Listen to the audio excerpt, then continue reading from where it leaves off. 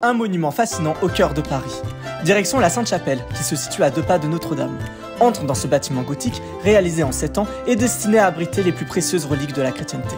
Laisse-toi éblouir par ces 15 verrières de 15 mètres de haut, réunissant 1113 vitraux.